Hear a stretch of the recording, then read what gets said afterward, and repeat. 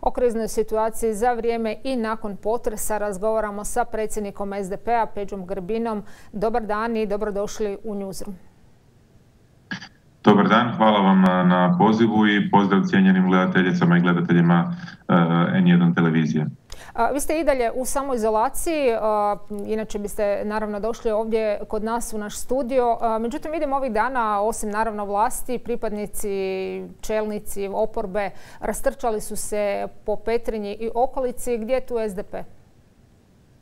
Dakle, ja sam u samoizolaciji još e, dva dana i radujem se, moramo priznati, iskreno se radujem tome što ću iz nje napokon e, izaći. E, SDP je tu, brojne članice i članovi SDP-a, bez obzira na to da li obnašaju nekakvu javnu ili stranačku dužnost, uključili su se u, na svakakve načine u pomoć Petrinji, Sisku, Glini i okolici. Prikuplja se pomoć, a naši dužnosnici, evo sada smo imali prilike slušati našeg kolegu Kričku koji obnašaju vlast u Sisku i u nekim drugim sredinama sudjeluju, su i tekako pokazali kako se posao kojim je povjeren od strane građana može dobro obavljati.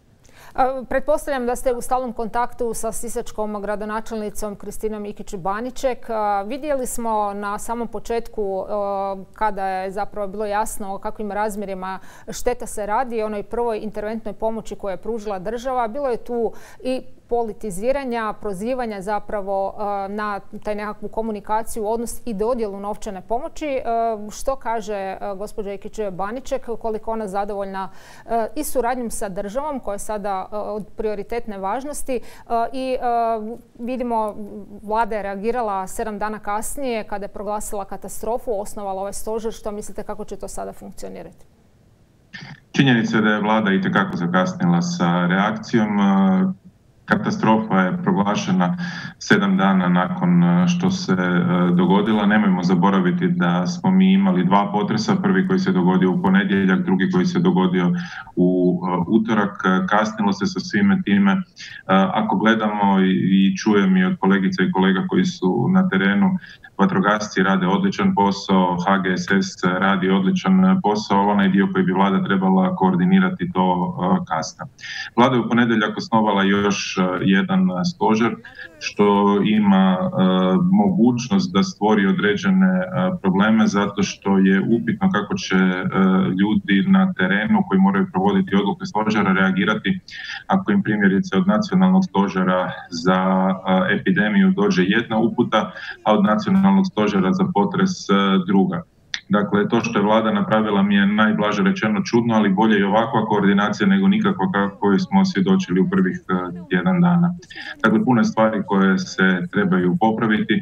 Drago mi je da čujem e, od kolegice i kolega koji su na terenu da određenih e, pomaka ima, ali je jako puno toga što još vlada treba napraviti kako bi se odgovor na ovu katastrofu poboljšao.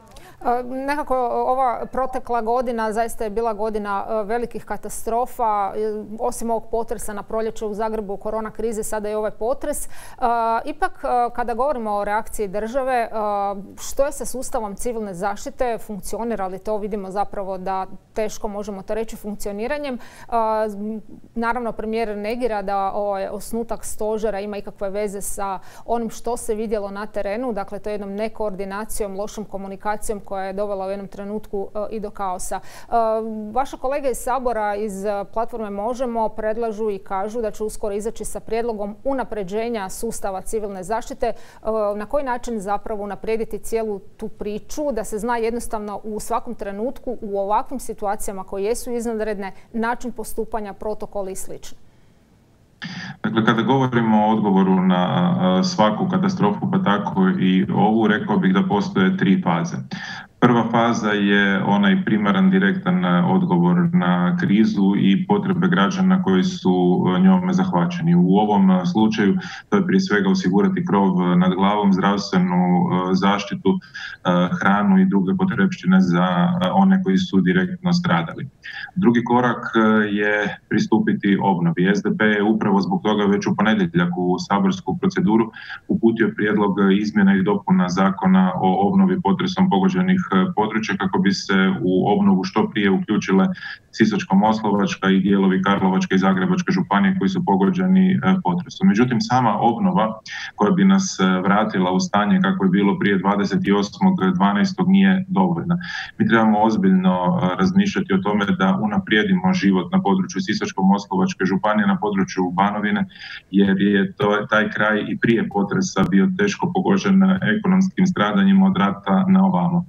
I zadnja faza odgovora na svaku e, krizu je analiza onoga što se radilo, onoga što se događalo kako bi izvukli pouke i kako bi iz onoga e, što smo radili naučili što ispraviti i kako biti bolji u budućnosti. E, mi bi trebali učiti od onih koji su bolji od nas.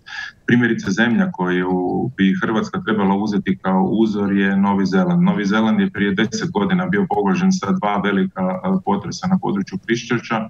Hrvatska bi trebala pogledati kako je Novi Zeland napravio odgovor na te potrese, kako je napravljen plan obnove koji nije uključivao samo vraćanje na stanje kako je bilo prije potresa, nego unapređenje čitavog kraja, ali isto tako i analizu koja je napravljena nekoliko godina kasnije gdje su izvučene lekcije i dane upute što izmijeniti. Mislim da je to smjer koji Hrvatska treba uzeti. Dakle, prvo odgovor na direktne potrebe građana koje oni imaju danas, nakon toga obnova i razvitak kraja i u konačnici izvlačenje pouka kako bi u budućnosti popravili i sustav civilne zaštite, ali isto tako i sustav robnih zaliha. Mi danas vidimo kako naprosto iz robnih zaliha nema niti šatora, niti kontejnerskih kućica u onoj mjeri koja bi bila potrebna građanima Sisačko-Moslovačke županije. To je svakako nešto što treba što je moguće prije popraviti, a osigurati da se u budućnosti ne ponovi. Dobro, vi sad spominjete ovu problematiku sa robnim zalihama, bilo je to zbunjujućih izjava uh, s jedne strane uh, Davora Božinovića, s druge strane Tomislava Čorića koji je ministar gospodarstva koji je rekao da postoji 1600 tih šatora na zalihama, s druge strane vlada se opravdava činjenicom da je dobar tih, uh, dio tih kontejnera završio na potresu u Zagrebu dijelom, a najvećim dijelom zapravo za potrebe korona krize koja i dalje traje. Ono što ostaje visjeti u zraku to je zapravo punjenje robnih zaliha, e, bez obzira što se dakle radi ovdje e, o, o krupnim predmetima kao što su kontejneri, trebali zapravo e, svaki puta kada se iz robnih zaliha uzme dio stvari, da ih se automatizmom nadoknađuje. Zaista je nepredvidivo što se može dogoditi, prirodne katastrofe, elementarne nepogode, međutim toga treba imati na zalihama. Da li je to trebalo naravno biti u ovom slučaju?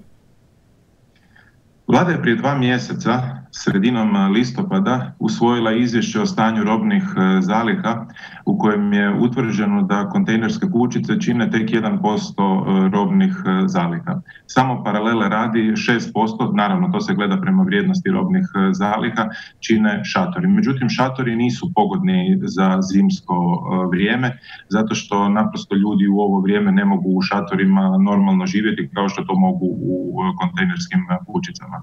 Dakle, tek 1% e, robnih zaliha činile su kontejnerske kućice. Isprika da su kontejnerske kućice bile e, poslane na druge lokacije naprosto nije prihvatljiva.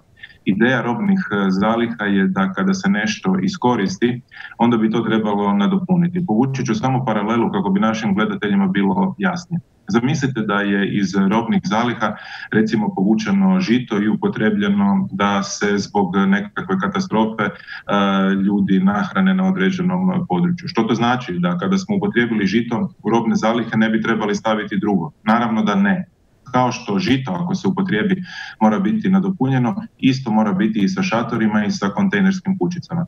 Nažalost, to se nije činilo i osobe koje su na čelu robnih zaliha, odnosno savjeta za robne zalihe, kao što je ispred Hrvatskog sabora gospodin potpredsjednik Sanader, trebalo bi upitati što su radili. Pitat ćemo ih e, svakako u međuvremenu e, cijeli ovaj, ova katastrofa iznjedrila je još jednu e, veliku aferu, mogući kriminal koji se događao u obnovi kuća nakon rata. Čujemo sada od premijera i njegovih kolega u vladi da će se pomno sve istražiti. Kako gledate na svjedočenja ljudi koji su živjeli u ovim obnovljenim kućama i kojima su se te kuće sada rušile? Različitih primjera ima. Jedna je naravno stvar bi bila bila da je to nekakav pojedinačni slučaj, međutim to je sada jedna raširena pojava. S druge strane, pitanje je na koji način se uopće to sve može procesuirati, je li tu riječ zapravo već i o zastari s obzirom da se sve to događalo prije 20 i nešto godina. Dakle, ovo što ste sada spomenuli ima nekoliko aspekata pa ću krenuti od ovog što ste govorili na kraju. Naime, držim da ovdje ne može biti riječi o zastari zato što se radi o kaznenim dijelima koja svakako podpadaju pod zakon o nezastarijevanju kaznenih e, dijela koji se odnose na ratno profiterstvo i pretvorbu. E, obnova se provodila u vrijeme neposredno nakon rata, provodila se u vrijeme koje je odlukom Ustavnog suda definirano kao ono koje ide u razdoblje nezastarijevanja i na temelju članka, čini mi se sedmog stavka drugog tog zakona o nezastarijevanju evidentno je da se on primjenjuje i na ovakva kaznena djela i s obzirom na navedeno vjerujem da ovdje nema zastare i svakako nema razloga da se eventualna kaznena djela, a primjerice ako ste po projektu trebali staviti armaturu u određeni zid objekta, niste stavili, to je definitivno kazneno djelo, znači da se takva kaznena djela procesuiraju. Međutim, vjerujem da nisam jedini koji baš ne vjeruje HDZ-u da će biti spreman istražiti kaznena djela koja su činila i drugi HDZ-ovci. Dakle, kada govorimo o onome što je vlada najavila, mislim da to nije dovoljno. Dobro da je USKOK pokrenuo radnje vezane uz direktne kuće koje su se srušile na području Sisačko-Moslovačke županije, ali e, držim da bi tu ipak imalo mjesta i za jedno istražno povjerenstvo, kako su spomenjali, spominjali kolegice i kolege iz platforme e, Možemo.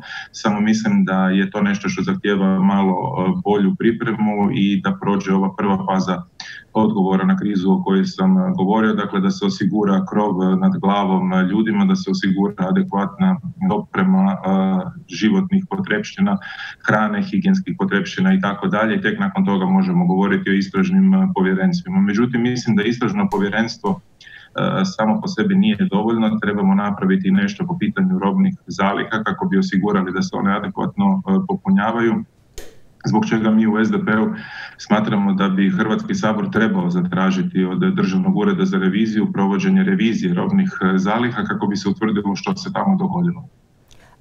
Naravno, sve ove kritike koje stižu s terena, propitivanja i nas medija, premijer je nekako doživio napadom, kaže riječi o pokušaju demontaže države. U demokratskoj državi kritika ne samo da je dozvoljena, nego je i poželjna. A ako Hrvatska želi biti demokratska država, onda svatko tko se bavi politikom, bio on predsjednik vlade, bio on lider oporbe ili neko treći, mora biti spreman podnijeti kritiku. A onda kada takvu kritiku dobije, bilo bi u redu da se zapita zašto je ona došla i da pokuša otkloniti razloge e, zbog kojih ga se kritizira, ne da proziva novinare, ne da proziva ljude s terena i sve ostale zbog onog što vide svojim e, očima. Izjave predsjednika vlade da ima ugrađen e, radar kojim e, u tri sekunde može uočiti nečiju agendu su, ne znam što bih rekao, da li smiješne ili tužne i nemam se namjere baviti takvim glupostima. Ono što je u ovom trenutku prioritet je definirati kako će Hrvatska što je moguće prije odgovoriti na posljedice ove strašne katastrofe koja nas je pogodila, osigurati kako da se dogodi da obnova bilo Zagreba, e, bilo Zagrebačke županije, Krapinsko-Zagorske, a pogotovo Sisačko-Moslovačke i drugih područja pogođenih potresom, ne bude onakva kako je bila e, obnova nakon domovinskog rata, odnosno da objekti koje ćemo danas obnavljati i graditi, ako ne daj Bože uskoro dođe neki novi potres, taj potres i izdrže. Dakle, bitno je kako raditi bolje, a premijerove riječi, ha, mislim, nek ljudi sami sude o njegovom bahatluku. Spominjete sada naravno tu obnovu koja će tek uslijediti. Pitanje je naravno kako će to sve ići, hoće li se tu zaista sve raditi lege artis kao što kaže premijer, ali vidimo da obnova u svakom slučaju i za vrijeme svakih vlada, a bilo je tu i naravno sada se referiram na obnovu nakon poplava u Gunji, uvijek se vuku repovi. Zbog čega je tako teško kontrolirati zapravo samu situaciju na terenu? Uvijek je tu pitanje određenih muljaža, privatnih interesa, zarađivanja zapravo na tuđoj nesreći. Zaraživanje na tužnoj nesreći je za mene osobno nešto najgore što možete napraviti. Zato i postoje e, posebni propisi primjerice za ratno e, profiterstvo. Međutim, ako usporedimo repove koji se vuku iza obnove nakon poplava u Gunji i okolici, usporedimo to sa ovime što se događalo e, za vrijeme obnove nakon Domovinskog rata, to naprosto ne ide u istu rečenicu. Međutim, mi svi koji se bavimo politikom moramo osigurati da obnova koja je sada pred Hrvatskom, koja će trajati godinama i koja će naše društvo koštati desetke milijardi kuna, ne bude provedena na taj način. Zato moramo svi zajedno e, reagirati, zato nije dobro kad predsjednik e, vlade na ovaj način e, odbacuje kritike, zato što sve kritike koje su u ovom trenutku upućene su u stvari dobronamjerne.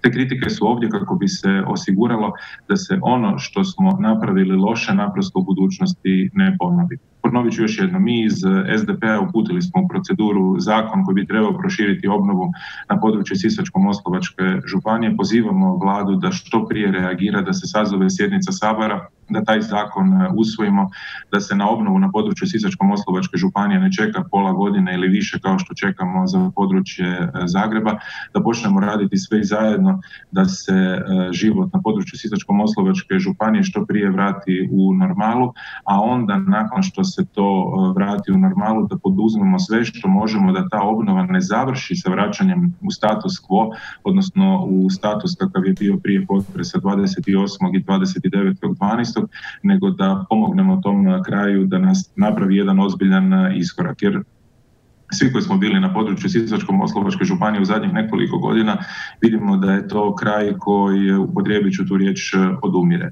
Obnoviti kuću recimo u okolici Gline, a ne voditi računa o tome da mnogi objekti nemaju adekvatan pristup struji ili vodi, osigurati da dobiju pristup komunalnoj infrastrukturi kakvu bi svako trebao imati u 21. stoljeću, u stvari znači da nismo napravili nikakav posao.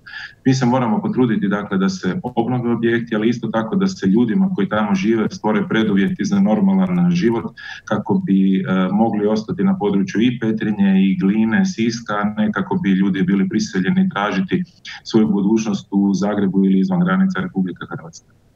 Gospodine Grbin, hvala vam za danas. Vidjet ćemo u kom brzinom će se sazvati i saborska sjednica. Sutra je već na vladi i ovaj zakon o obnovi Zagreba i okolice. Ministar gospodarstva najavio je da će riješiti e, zapravo i proširiti e, to i na područje Sisačko-Moslovačke i Karlovačke županije uredbom sa zakonskom snagom. Pratimo naravno e, i aktivnosti i vlasti, ali i oporbe. Hvala vam za danas. Idemo na kraću stanku, a u nastavku emisije upravo razgovaramo o obnovi Petrinje i okolice nakon e, ovog katastrofalnog potresa, o nekim idejnim rješenjima kako ga vide arhitekti. S nama je poznati petrinski arhitekt Davor Salopek. Ostanite s nama.